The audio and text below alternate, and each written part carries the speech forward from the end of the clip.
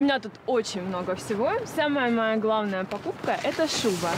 Я ее очень давно хотела. Это Елена. За границу ездит как в набег. Все из машины за один раз даже не унести. Ой, для меня шопинг это мое самое любимое занятие. Для меня шопинг это снятие стресса. На шопинг я могу ходить каждый день. От шопинга я не устаю. Для меня это самое лучшее занятие. Но это же очень дорогое удовольствие.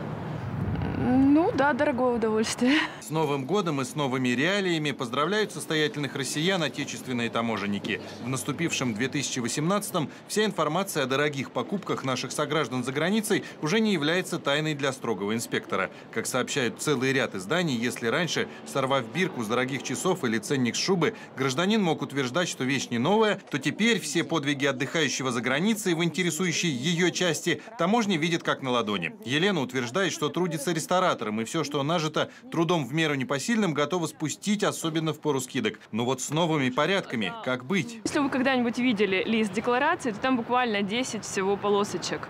Если вносить все, сапоги, дубленку, шубу, то это получается намного больше, чем на 10 тысяч, даже если ничего не покупать вообще. И как быть? Вот как быть, я не знаю. Может быть, платить налоги? А, ну, может быть. Только за этот январь неприятности для возвращающихся с отдыха исчисляются суммой, превысившей 200 миллионов рублей. Столько задержано незадекларированных товаров. Чем дороже покупка, тем больше интерес к обладателю чека. Вот и шуба Елены дешевеет на глазах. Примерно 15 тысяч евро. Давайте скажу пополам. Ну, например, там 9,5. Информацию таможенники получили возможность черпать из системы Tax Free. Предоставляют ее сами счастливые приобретатели. Обращаясь за возвратом НДС, скажем, со 100 тысяч евро покупок, можно вернуть от 10 до 20 тысяч. Сумма приличная даже для летающих частными самолетами.